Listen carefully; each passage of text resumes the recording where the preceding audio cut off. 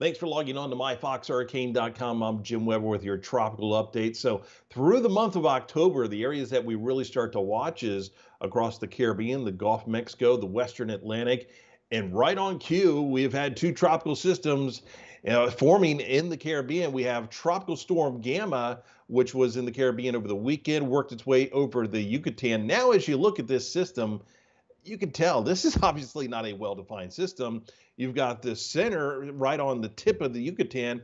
All the convection is way to the north, so that strong wind shear has basically just sheared this system apart, but somehow still has winds of 45 miles an hour.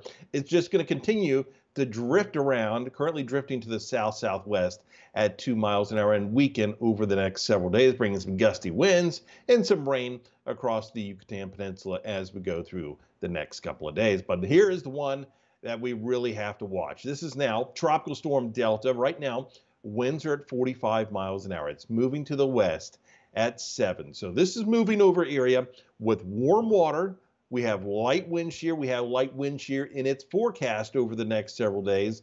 So these are all things that this system would like to see for additional development. In fact, uh, we are calling for this to become a hurricane. And at this point, looks like this could become a category two hurricane. And obviously, at this point, category three is not out of the question. It'll be moving across warm Gulf waters.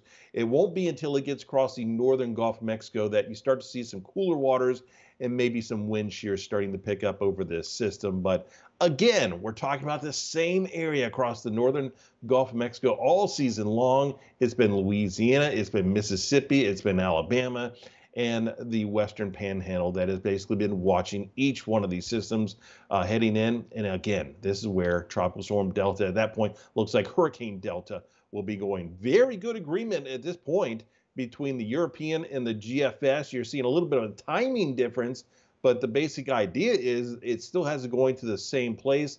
The GFS maybe just a little bit slower in its forward motion, arriving on the coastline just a tad bit later, but still very good agreement between these computer models. So we're going to continue to watch this, and we'll keep you updated right here on myfoxhurricane.com.